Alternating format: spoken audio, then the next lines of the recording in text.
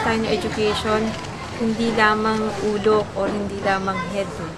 Buong katawan ng bata natututo.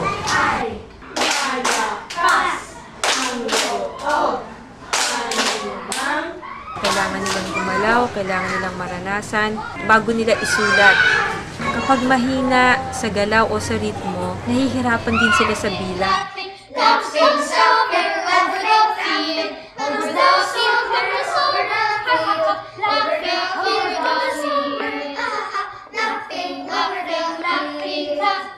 That's the sun.